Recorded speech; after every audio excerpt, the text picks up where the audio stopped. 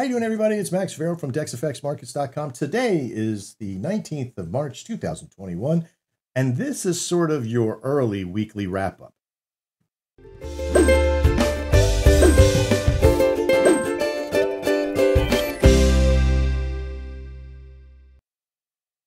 All right, everybody. So we're back. I'm joined with Jerry uh, from Data Division. How you doing, Jerry? One of our good. Partners. How's it going?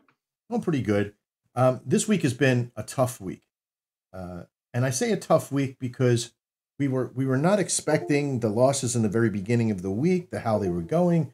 Uh, there was a few things that you and I had talked about within the process of uh, the signals and what was happening. I talked to Ron, of course. Uh, you guys have done a fabulous job looking and tracking data, making sure where everything was at. Um, let's talk for a second about daylight savings time um, and how that sort of worked into some of the stuff that happened in the very beginning of the week. Um, and you and I discussed, Jerry, that we thought that uh, it, it, it affected the signals for this week, but really only in the beginning part of, of the week, say, so that Sunday night to Monday morning. Is that about correct? Right. Uh, at best we could tell, right? It looks like that uh, it affected our Sunday night, Monday morning. Our Sunday night, Monday morning. Yeah. So from that from that Sunday night, Monday morning time period, let me grab the uh, right ones here. Here they are. I think I did grab the right ones. Two fourteen. Am I missing something? Oh, I'm turned all the way over to here. there we go. Um, as of the two o'clock hour, we're about ninety-two dollars in the hole um, from from what we have from the week. Uh, this first part of the week really kind of took us a little bit, uh, gave us about two hundred nineteen dollars uh, in the hole from the very beginning part of the week. So it was a pretty tough week uh, to kind of get hit into. But we feel, uh, and again, this is not about excuses, right? This is about finding out what the data is worth. Remember, a lot of this data that we've we've accumulated, some speculative, some forward testing, and what have you. Um, we can only test back a certain period of time. So we couldn't test back to the previous daylight savings time or the spring forward or the fall back or any other time, uh, really, because we didn't have the data. Now we do, and this is good news. Even though that we're a little bit behind for this week, this is still good news because what did you call this? A flex week, basically? Right. Yeah, we think so because to your point, we don't have the data to look back on it. But right, and that we see the we see the success rates for certain hours and certain times over certain weeks, and mm-hmm. now we're starting to get into that prime data of all most of the data almost about half the data now. What are we six weeks in for live data? For okay, so we're about about halfway into our um, full 13 week process that we needed to get to. So we're right at that halfway mark. So if you're if you're just starting out in ZDON and this is your first weekend, so yeah, you have a loss your first coming weekend. We had a loss in the beginning of the month with uh, the NFP, so we learned a lot of stuff about the NFP at that time. It's about right, right?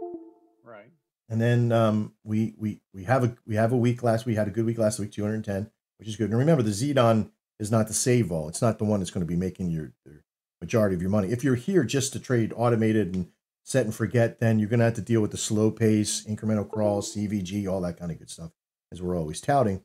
But the real solution for all of you is to learn how to trade using the Dex Atomics. That's where the real money is being made, right? This is just supplemental money. Um, in that case, we decided that we were going to wait until uh, I was going to do a weekly wrap up at three o'clock because if we had a if we had a trade on because uh, Jerry's traveling and I wanted to make sure that we had some time to talk about this process. Um, collecting data for this system is it is it a tough venture for you, Jerry? When I mean, I know it's numbers come easy to you. Right. It, yeah. It's uh, very time consuming and you know but it, it's good stuff. We're we're learning stuff every week, uh, right. and it's getting better. So uh, the the reward is you can see that this is going to be a game changer down the road for sure. Yes. Right now, how we're collecting data, we're using the system over on from. Now, here's the good part: we're using our own tools. Dexatomics is the biggest one that we're using the tools with to grab data, very specific data, not too many signals, not too not too little, um, and we're using that process. What we're working on, and here's where the, the real power comes in, is that we need to know when we're using our indicators right now, we're not using statements from Nadex, right? And that's the thing that we really got to work on uh, is getting those statements directly inputted into the indicator called Dexatomics.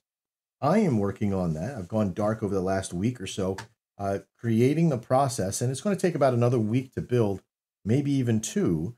But once we get those statement prices in, injected into the system, we can then really see the simulated backtesting as true results because we know right now that the, the statements that we're showing, you know, from the HILT method it, are not really uh, statements that are over on Nadex, but they're close, two or three pips sometimes, sometimes four.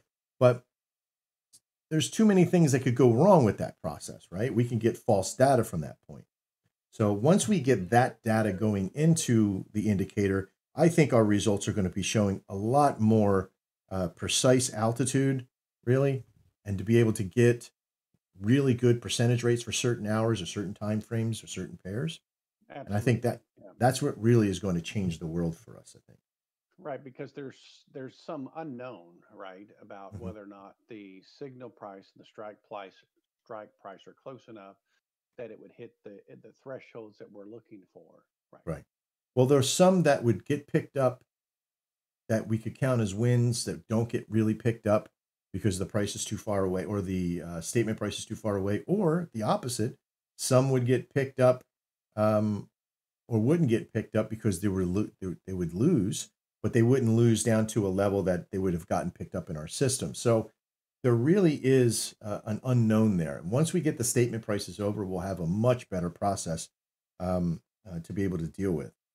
Uh, this week is I'm not I'm not happy with a lot of the results, if you would would say, but I'm I'm still okay with uh, the processes. All right, so we're we're sitting right now at about minus 92. Uh, this would have actually changed in this last hour because we had something else just happen, and I wanted to let everybody know about. And this happened, I think, last week as well on a pair. Uh, and we're working on this process. Matt and myself have talked about this for the next release that's going to come out. Um, is to when the signal fires, right? And this is not a ZDON thing. This is a Nadex thing. If I go to the website for for Nadex and I put in, let's just say, I find a statement and I go to get into it and it's already out of the money, right? And let's just say the, the current market price for a sell is $67 right? That's what happened with this last little trade for Euro USD. Let's say it's $67 and I decide that I'm going to go with that 67 that's there and I go to put that price in, but the market's moving so fast that it drops down to 50 uh, drops down to 66 and it won't honor it because it can't go lower, it can only go better. It can't go worse into the trade, it can only go better in the trade. So it puts it as a working order in case it comes back up and hits that 67. That is uh, a problem for us. Why? Because we're using a limit order when it comes over. It's not a bad thing for the ZDON thing to be a limit order because if we came over to because our system is all about the retracement, but sometimes we hit these these out of the monies, if you will. So what Matt and I are going to be looking to build is the ZDON now to take charge and say, listen, when we first get here, if that price is a dollar or two more okay a dollar or two more than the out so if it's out of the money and it's a dollar or two more in the positive right? So if it's like if we're doing a 45 if it's 47 then we use a market price to get that okay? Because that'll that'll pop it immediately right? That'll put it in at 47 or if it's 67 or whatever but we'd have to have a minimum of that process being there. So we because if we did it right if we said at 45 put a market price on then it would just put it in every single time. So we need to know if it's better than 45 and then how much better than 45 does it need to be? And that's the thing right? We're, we we have to kind of start looking at that because we're losing a couple of trades. Like this last one would have been a good sort of bringing us almost to break even uh, one trade off one minus one delta um, if if it were to win from that point. The other is that you would have to sit and watch it the entire time. It's about right jerry? Right right it's it's moving up but I don't think it's going to fill still, but if it does fill now, I'm, yeah. Yeah. It'd be, it'd be, it'd be a, an edge of the cedar kind of thing. It'll be an edge of the cedar. Yeah. You yeah. don't want to watch it. Yeah. So the point being is that this week, even if we do win another one into three o'clock hour, uh, it'll still kind of bring us really close to the break even. I see this as a, it, it is a loss. It is a, a negative in the column, but it's one that's very, very close. And now that we have information about the Dex Delta and the daylight saving time system, I'm going to see try to pull up some other data uh, to see what you know. We we got good data from this point. Um, Ron, every week. I'm sorry. Go ahead. No, go ahead, please. Uh, every week we get better data about Ford uh, actual uh, data instead of simulated data. The other mm-hmm. thing I'd like to say, and I, I don't want to jump ahead if you, if I was, but outside of Monday, Monday was 0 and 4. So Monday right. was we were 219 in the hole. Right. If you took that and just say that uh, maybe we learn from this, and we don't know, it's one instance, so we need to mm-hmm. say we need to wait. But we learned that maybe on the Monday, the Sunday to Monday of daylight saving times, we just don't trade, or we trade right. very conservative. Right. We wait until Tuesday. Right. Yeah. We, we lost four trades. Had we not lost those four trades, had we not traded that Monday at all, we'd be positive right now. Yeah, we would be up about 120 something dollars. Yeah. The, right. And so Wednesday was a break even day. Thursday was just down um, a little bit. But, um, uh, and then Friday is turning into a, to a good day right now. We're 3 0 on Friday. So Monday was certainly an anomaly, is what mm-hmm. I'm going to call it.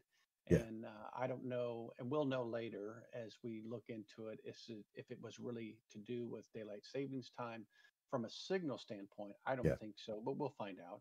But I right. think it was more of a shift of people's habits, mm-hmm. uh, com- uh, of the ebb and flow of the market, and you know, so it's it's either way. I know it's it's a loss, and some people are are uh, you know they don't like that. I don't like it either. I'm trading alongside of, of everybody else.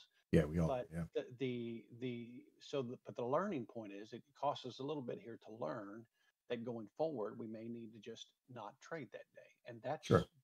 when not to trade is sometimes just as important as when to trade. And this is something we've always tried to teach. You know, when in doubt, stay out kind of mentality. Right. But what I want everybody to realize is that if you're listening to this, you're like, damn, I had a bad week and I can't really take this and I got to go figure something else out. Don't you dare move. You stay exactly where you're at.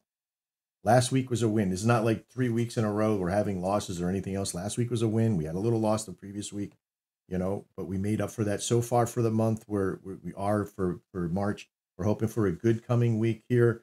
Um, for the last six weeks, we're in the positive over 500. So I know for fact, as we progress further into the next week or so, the DEX Delta signals will get even better with the injection of the Nadex statements being on the system. We'll be able to finite the data more. We'll be able to create more analysis around that process and really hone them in. So don't go anywhere. This isn't this isn't something that you're here for the daily result. You're here for a monthly, a quarterly, a half a year, three quarters, and a year, right? And I can tell you right now because I'm sitting here with you trading. So is Jerry and so is Ron and everybody else who's who, who's in here. We're putting our money where our mouth is. Now, the Dex Delta signals is only one little tiny part. The real power, if you'll see in the Dex Atomics chat room and results that we're going to be putting out, the people that are trading manual are blowing us away in Dex Delta signals. But don't let that discourage you. If you if you don't have time to trade, if you don't have time to sit in front of your computer, we do have other things that are coming on we are profusely pushing uh, a process of testing on our five minute systems as well. Why haven't I removed five minute systems? Because they don't work. Apparently, everybody says they don't work. Well, they actually do, but you've got to really be able to trade them in a certain way. So a lot of good things are coming. So if you're if you're if you're sort of sitting waiting for you know Dex Delta signals to make you a million dollars tomorrow, we have work to do, and we're going to get there thanks to people like Jerry and Ron and David and other people who are in there collecting this data, doing things that if you tried to do this, you'd have to spend at least a month learning the program and another month to even collect the data. Okay. And I can tell you right now with the with what's going to be coming with data collection, we're going to be putting out some programs that are going to help you look for some of your own golden signals and what you're going to be trading with that. And even if it's two or three hours a day, you're going to be doing pretty good. Um, again, I think uh, we had a few people hit the thousand plus mark um, in in manual signals. I came close on my manual side. It came up to eight hundred dollars this this month, but I also I was distracted with a lot of stuff that I had to do. Okay, um, Jerry, you have anything to add this week? No, that, I I said my piece about it, and I completely agree with you. I I just believe that um, it was like this this week. Uh, it was it started off tough, but now it's turned out to be just an okay week. You know, a little bit small loss, but uh, a good learning experience, and I, I, have a lot of confidence in the signals. We've gone through a lot of back testing, mm-hmm. and we know that back testing is a reflection of forward testing to some degree. How much percentage of the degree? Yeah. Yeah. Yeah. We, we learned that it was like almost 30% of what the, the functionality of what backtesting is to live. And with those numbers, they're still good. Um, with some nuances, things ebb and flow, they go up and down. It's just like the market, right? But now that we're starting to see where are the golden signals, where are the ones that have like 10, 20, 30 signals on it and they're 80, 90% success rates. So that's what, what we're really hoping on. When we get to the live, full live interjected data, full forward testing, that's where the real power. Another six weeks, seven weeks in that, uh, and then we're really golden. We're taking this pattern that we have for signals and applying it to a long term forward testing, no simulated data. But even then, simulated data is skewed now. But when we come out with that new Nadex statement injection system into the indicator, simulated data is only going to be off because right now it's off about 70%. So we're getting 30% results. When we inject that data, we're only going to be off like 1%, 2% at that point. And that's where I really want to get to to see where our real numbers are that we can depend on. All right, everybody. I appreciate you being here this week and sticking out with us. Jerry, thank you very much. I know you're traveling. You got something. Ron's traveling. Everybody's traveling this week. guys got cabin fever. Had to get out, I guess. But uh, I appreciate all, all the work you've done, bud. Thanks, Max. All right. That's it for us. We're going to end out early. Hopefully, hopefully we have a three o'clock. If we do, when we come out on Sunday with uh, maybe a Sunday sideshow kind of thing, I think, uh, or even something on Monday. I'll have another little event that we're going to be talking about some stuff that's going to be released. But we'll see you then. This has been the weekly wrap up with Max and Jerry. We'll see you next time. And as always, trade well.